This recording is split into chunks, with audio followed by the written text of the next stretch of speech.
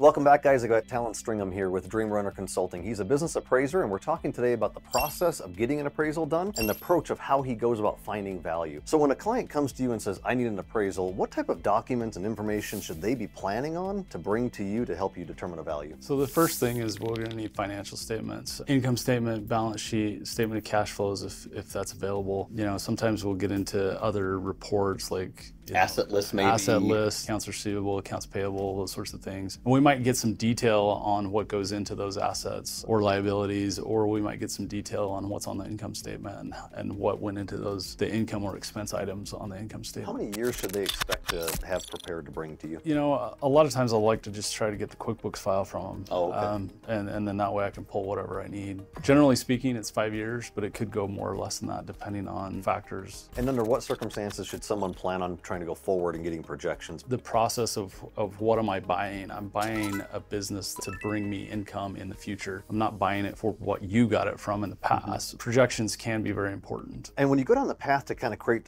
an approach to determine value, a lot of us are used to the real estate space where you can look at three different approaches and say, you look, you know, what, what does this asset cost? Or what are other comparables like this selling in a, in a close proximity to us? How does that look like in a business where your, where your world of comparables is not as, as deep and broad as you might have in real estate? Well, it's I love the analogy because it's it's very similar. We do the same types of things when we're valuing a business as we as a real estate appraiser would do when they're valuing a home. We look at the value of, of individual assets and liabilities and, and try to make an assessment that way. We also might look at future income that might be made off that business and bring that back to present value. And we also do have databases that we look at to see other companies that have sold and see what they're selling for and use that as a comparable to the business that we have that we're trying to come up with a value for. In certain cases, we also might look to the public markets, you know, what publicly traded companies are trading for and if those can be compared to the company in question. So it's interesting that, I mean, at the end of the day, it feels like it's quite similar, right? I mean, we're all used to the real estate space. Appraising a business, far more complicated. I'm guessing it's also a little bit more expensive than a real estate appraisal necessarily yes. too.